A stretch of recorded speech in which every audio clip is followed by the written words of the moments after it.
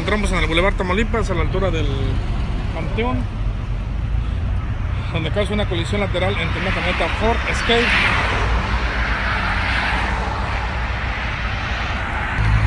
El otro vehículo es una camioneta Dodge. Resultamente ambos circulan en dirección de norte-sur sobre Boulevard Tamaulipas. Y este vehículo impacta la Ford Escape aventándola hacia los carriles contrarios. Serán las autoridades de tránsito quien defiende responsabilidades de este hecho. Debido a que nadie acepta su responsabilidad.